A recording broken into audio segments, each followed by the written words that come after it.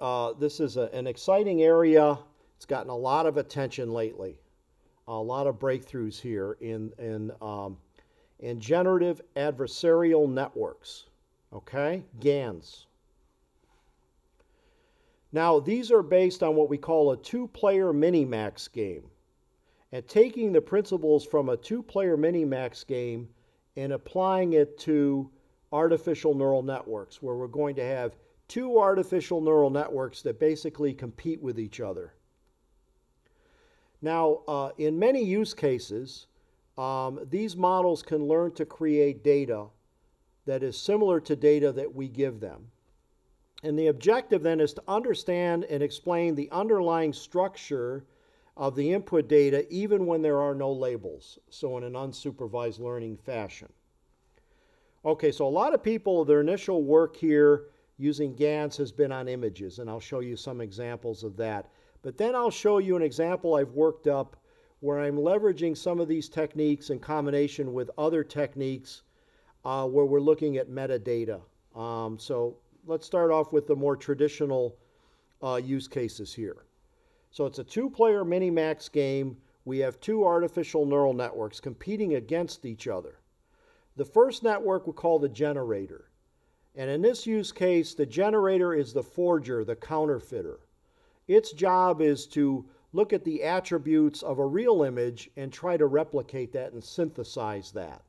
And it's going to start creating a lot of images, okay? Um, its job is to generate and synthetically generate images. Uh, that's one network. The other competing network, remember two player Minimax, the second player is the discriminator network.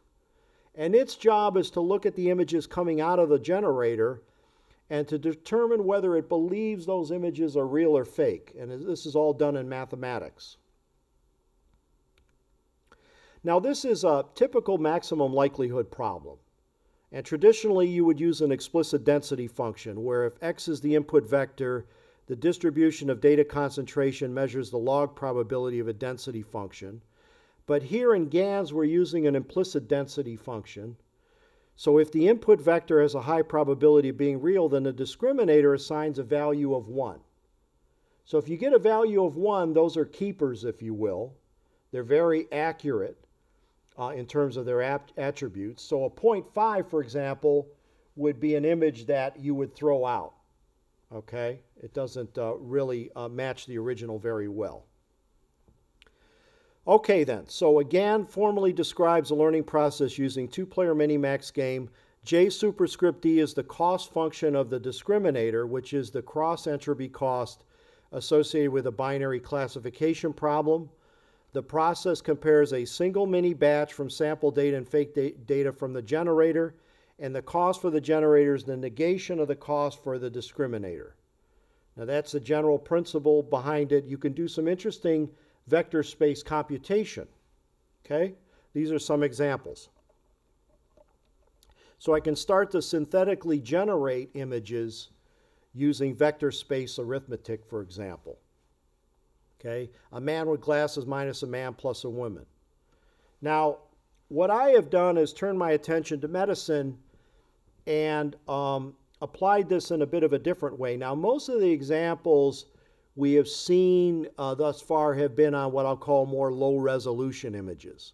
Now, in medicine, we deal with super high resolution. So there's some tweaking that has to be done with these techniques. Uh, and I won't get into all of the detail, but here's one I've worked up where I have an MRI image, and then I have a positron emission tomography image, and in silico, I can synthetically generate a PET MRI hybrid using a two player Minimax game technique with the equation that's, uh, that's there. And that's all the detail I'm, I'm going to provide here with that, okay? All right. Now, let me talk about a technique that I've worked up that I call exploitative GAN. All right, this is where I'm going to look at the, um, the attributes of data, of molecular data, um, cellular data, very complex data, uh, not image data, but I'm applying some of these techniques along with a variety of other techniques in the mix. And in more advanced work, you're going to find that uh, you're bringing together a variety of different advanced techniques in a unique combination uh, to achieve a result. And this is certainly one example of that. All right, so the hypothesis here is, and I will describe uh, what these are in more detail here, but um, the hypothesis is that an exploitative GAN can uncover natural killer group 2D receptors for use by CAR T cell therapy in solid tumors. So let me go through and give you a little bit of a primer in terms of what some of this, this terminology means, okay? We have two ways I'm going to talk about here of killing cancer. The first is innate to your own immune system, and those are natural killer cells. They go to work every day. They kill cancer cells as, as well as viruses, and they're activated by binding to the antibody attached to a cell, displaying a peptide antigen through what we call MHC1. Okay? Um, best to just show you an animation here of how this works. So that is a cancer cell, and we see antigens being expressed on its surface. In white, we'll see the natural killer cell.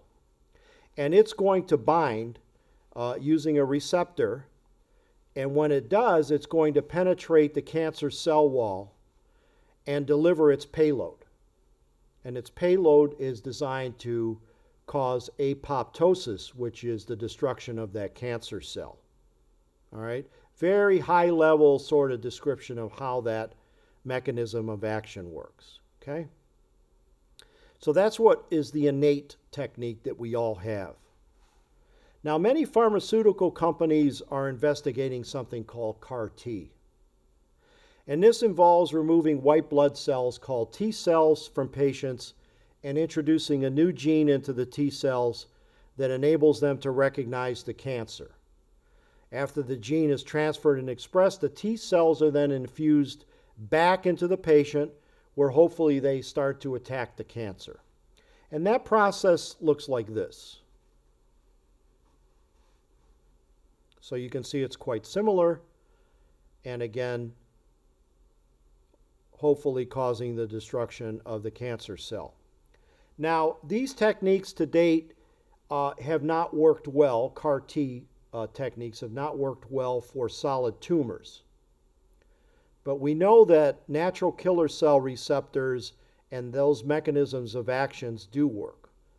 So, using a variety of techniques, can one start to discover maybe approaches um, where you could start to combine some of the what's available to us from NK in terms of receptors and start to think about applying those expressed as ligands um, for CAR T use.